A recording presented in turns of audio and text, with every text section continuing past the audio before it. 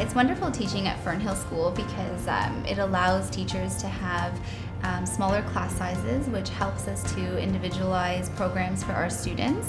This is helpful in you know planning a program that is specific for each child's need.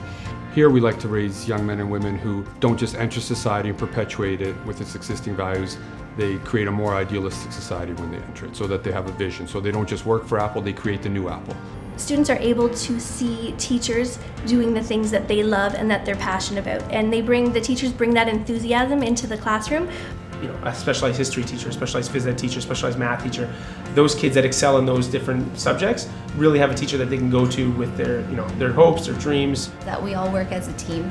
So we collaborate our ideas, all of our resources. Something just falls into place here and the magic happens, you know, and every piece comes together, whether it's extracurriculars or academics, it just all seems to fit. It's a sense of community. I think that's the biggest experience you get here. We're, you know, sitting on 22 acres of beautiful land, but it's not just that, it's everything else that comes into play here at the school.